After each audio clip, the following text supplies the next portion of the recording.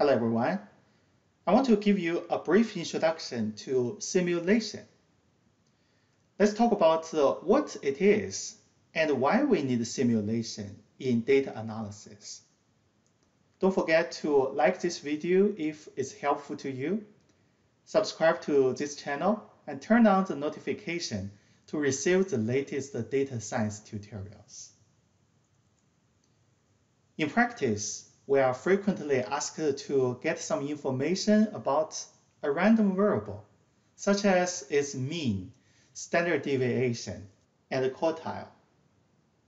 For example, on this slide, we have a random variable x and its probability distribution fx. Our job is to find out the mean and the standard deviation of x. According to what we learned in the math class, we can use the two equations on this slide to mathematically calculate the mean value and the standard deviation, right? We just need to find the integrals of these two equations, then we get the answer. But the problem is, the problem for this case is fx is highly complicated. Obviously, it's not a good idea to bring fx into the two equations on this slide to calculate the answer. What can we do if the probability distribution is too complicated or impossible to calculate mathematically? Here is the solution. We can use approximation. We can draw a sample of values according to the probability distribution we are given then we want to average the sample value. The sample's average value is approximately equal to the mean of the random variable.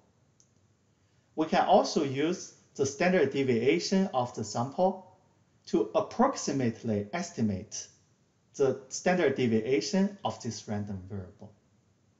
Here is a requirement though. We must draw a sample of values according to the probability distribution we are given. We must uh, draw a sample according to this probability distribution for this case. If you are given other probability distribution, you want to draw a sample according to other probability distribution.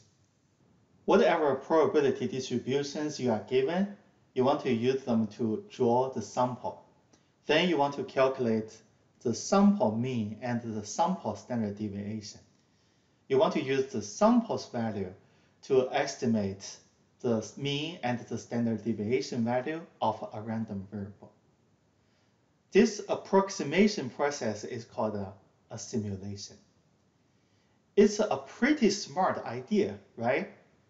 Think about it. We don't have to mathematically calculate a very complicated integral we just need to use the sample values to estimate the mean and the standard deviation of a random variable. This is why we need a simulation in data analysis. When the probability distribution gets very complicated, impossible to calculate mathematically, we can draw a sample and then use a simulation to get the information about a random variable. Now we meet a question. How can we draw samples according to the given probability distribution? This will be the topic in the next few lectures.